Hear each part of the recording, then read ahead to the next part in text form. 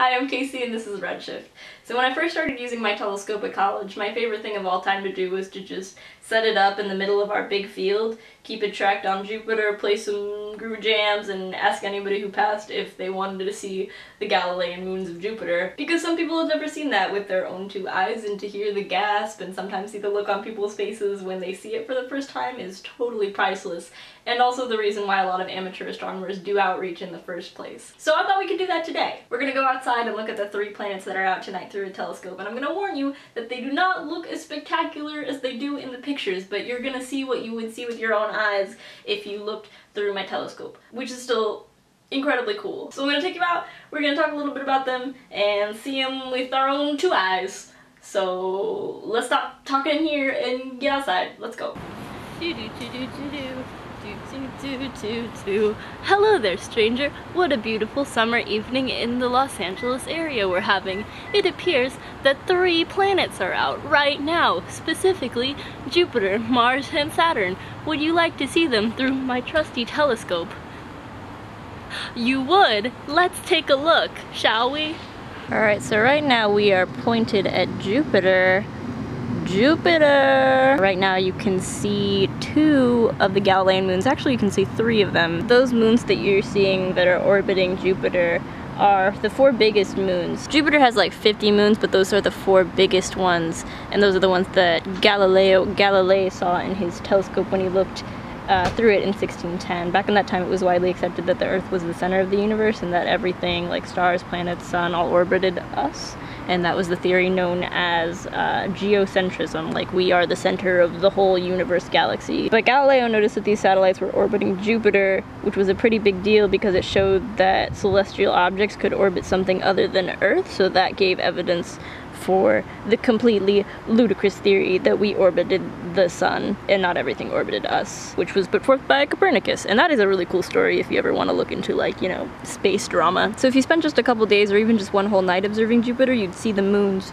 move. If you had a higher magnitude telescope and you can see Jupiter's red spot, you'd also see it move because Jupiter spins really fast. A day on Jupiter is only 10 hours, so a full revolution on Jupiter is only that long. Sometimes you can see Jupiter's red spot through here. You can't see it now. But if you've seen that, that's a, a big giant storm that's been raging on Jupiter for like 300 years, and that's crazy, and probably a poem waiting to be written for whoever wants to claim it. Okay, let's move on. Alright, so here we are at Mars. We know a lot about Mars because we are very close to it. So close, in fact, that we like put stuff on it and pretty sure we're gonna put people on it. Through the telescope, you can see that it's red. You can't see it so much through camera, but you can kind of see how red it is when I I adjust the focus there. So it isn't really red as much as it is orange. A lot of people have said that when they look through it for the first time.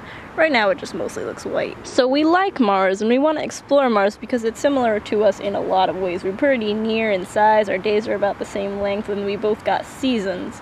Some of the cooler features of Mars is that the biggest mountain in the whole solar system, Mount Olympus, which is like over 25 kilometers high, which is three times the size of Mount Everest, if you can imagine like three Mount Everests.